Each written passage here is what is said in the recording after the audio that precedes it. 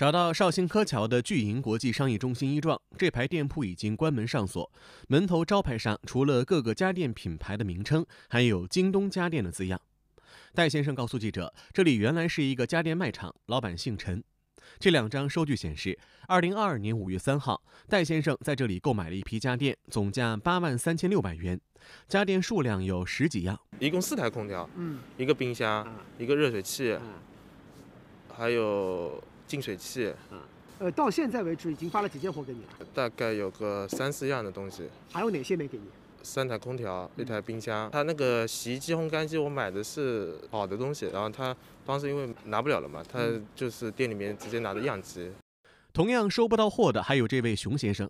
收据显示，二零二二年五月一号，他在家电卖场购买了一批家电，总价三万零五百元，主要是电视机、抽油烟机、灶具、洗碗机和净水器。家电卖场的收据上还盖着绍兴市宇格电器有限公司的公章。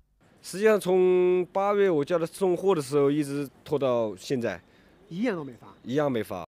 戴先生告诉记者，二零二二年十月初，他发现陈老板的家电卖场已经关门了。从事后双方的微信聊天记录来看，陈老板一直说会尽快解决。本来昨天到的，嗯、到到账的，但是，嗯、有点问题，今天再再处理掉了，然后现在等信息更新，你现在就在干等，嗯、如果是这边登了一天到两天最多到账，现在不确定。呃，我大概是十月二三号左右过来看，就是已经关关门了，然后听他们在说，有了解到是差不多十十月一号就物业就直接锁门了。呃，除了你和小戴之外啊，嗯涉及到这个事儿的还有多少人？大概？二十来个吧，我们有两个群，那货款大概涉及到多少？货款的话应该有五六十万，应该有。戴先生和熊先生表示，二零二二年十一月二号，他们设法找到了陈老板。这两张欠条也是当天写的，其中熊先生这张欠条上写明，三万零五百元的家电未发货需退款，故承诺二十天内发货或退款于顾客。戴先生这张欠条上写明，三台三菱空调和一批家电加起来总价是六万四千九百元，承诺二十天内发货或退款。除此之外，还有一台五千三百九十九元的洗碗机要退款。他就说，呃，我现在还是没有，他说等把这边的事解决好，那边才能开业。嗯，然后嘛，我们就一起让他打了个欠条。经常跟我们说一个星期啊，或者两三天啊，我马上给你们解决处理这个问题。他说就可能资金上面不周转不过来，那他实际上这个问题给你处理了吗？没有处理。戴先生说，等了将近两个月，陈老板既不发货也不退款，他担心手上这张欠条会变成一张废纸。记者给陈老板打了电话，发了短信，一直没有收到回复。